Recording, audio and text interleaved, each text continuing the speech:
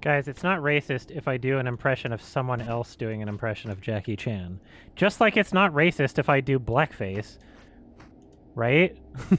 Because it, I'm doing a cosplay of Justin Trudeau, my prime minister. Hello?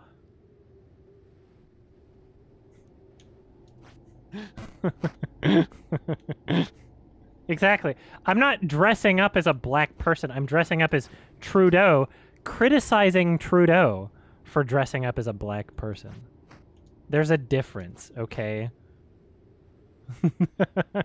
I love my favorite part about the controversy when it came out was when he was repeatedly asked how many times he'd done it and he dodged the question every time because he knows that he's done it enough times that there very well could be more photos that surface of his blackface incidents.